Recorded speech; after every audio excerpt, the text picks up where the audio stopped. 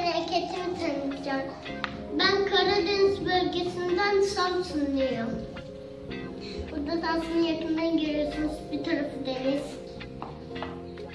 Tarihin olduğu Samsun Meydanı.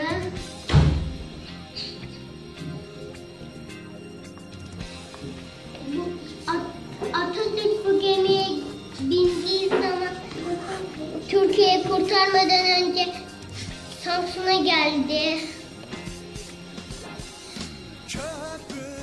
Burada tarihin olduğu önemli Samsun Limanı. Kızılırmak.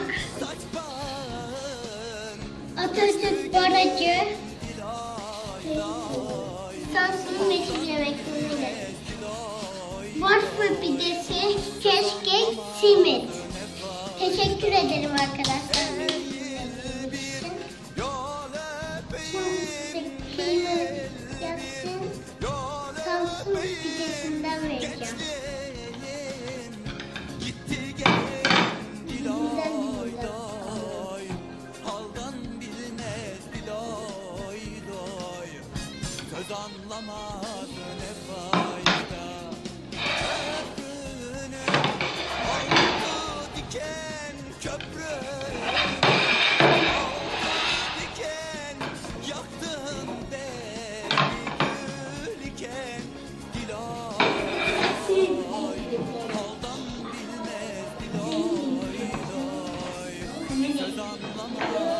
Mustafa sana geliyor.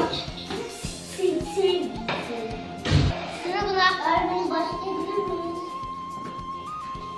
Canımı çekti de.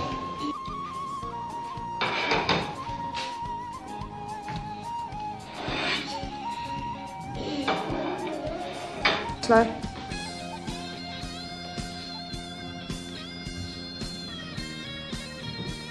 Hepinize afiyet olsun arkadaşlar. Abi şimdi geçmiş.